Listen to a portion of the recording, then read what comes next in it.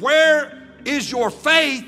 And the Bible said, And they being afraid. Their own confession was, We're afraid.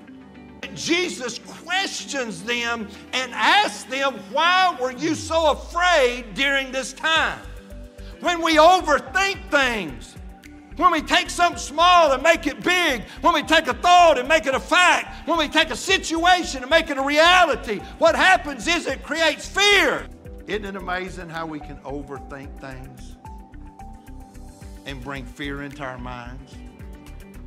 You know, overthinking and fear is so powerful that this is what the researchers say that it takes five positive thoughts to overcome one negative thought.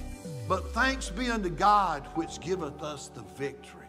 Because greater is he that's in us than he that's in the world. More than conquerors through him that hath loved us and gave himself for us